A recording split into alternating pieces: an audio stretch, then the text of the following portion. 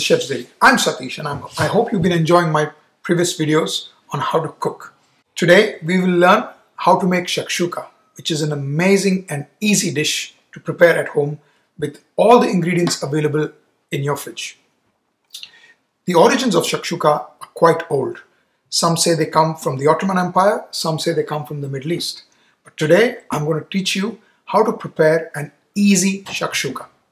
To start with, we need eggs, preferably free range, freshly toasted cumin and crushed, cumin powder, turmeric powder, smoked paprika to add that extra flavor, cayenne pepper, chopped garlic, bay leaves, snub-nosed chilies which have been chopped, a handful of parsley chopped, some white onion chopped fine, and in this case for this recipe I've used chickpeas. The chickpeas have been soaked overnight with a touch of baking powder and then boiled the next day morning again with a touch of baking powder just so that the skin becomes nice and soft. And of course the seasoning, pepper, freshly ground pepper, olive oil to cook and extra virgin olive oil to finish the dish and of course salt. So let's get going. So to begin with, we'll heat a pan, preferably a heavy bottom pan and also please bear in mind that this pan needs to go in the oven which means we need to preheat our oven. So today I've preheated the oven at 400 degrees Fahrenheit and a pan which is hot. We add some olive oil and we would start sauteing the onion and garlic the whole idea is to make a nice tomato base for this shakshuka dish. Now in many recipes it calls for peppers as well, green pepper, red pepper, um, or some hot pepper. In my travels what I've realized is that many regions have their own variations for this shakshuka. So today is a little bit of a variation from what traditionally is made because I'm going to add chickpeas to this. So we have been sweating. I'm sure now you know the term sweating, which is letting the moisture come out of the onions for the past five minutes. At this stage, I will add bay leaf and now we will add the snub-nosed chilies. Nice and colorful. Now if you wish to add peppers, you can add peppers at this stage. Now this has been cooking for the past five minutes.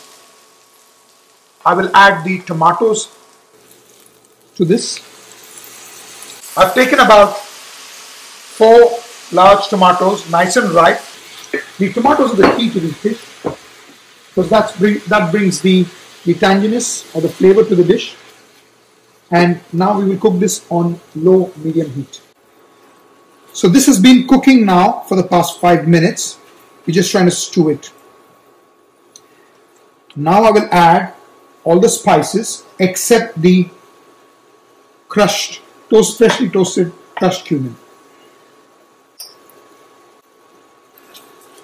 I've added about a, about one third cup of water to the stew so that it doesn't stick to the bottom. Now we will add the chickpeas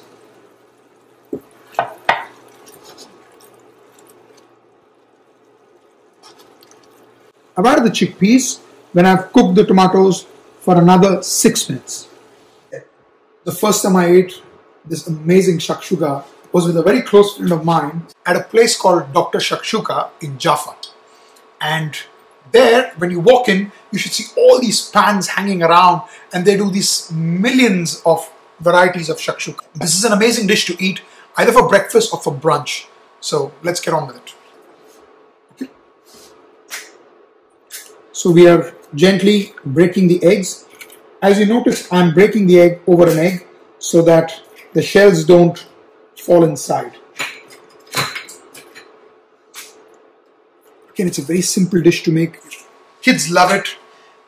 You can scoop it up with some Arabic bread, eat it as a family meal. So once you break the eggs do not move the pan or move the eggs, otherwise they will all break. And now I will place this into the oven at 400 degrees Fahrenheit.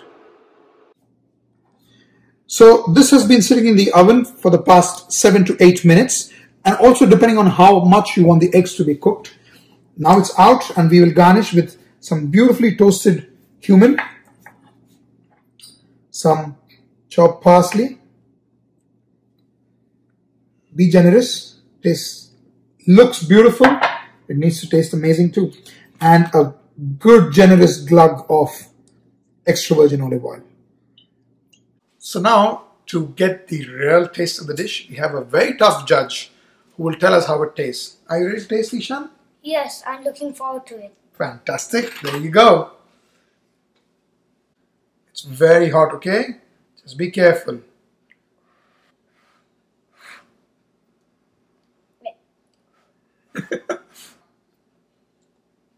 and how is it? Amazing. Amazing. Would you want to eat some for your lunch? Yes, please. So let's taste it. Mm. The best part is the smoked paprika flavor, which comes really very, very well. And the chickpeas adds another dimension to the shakshuka.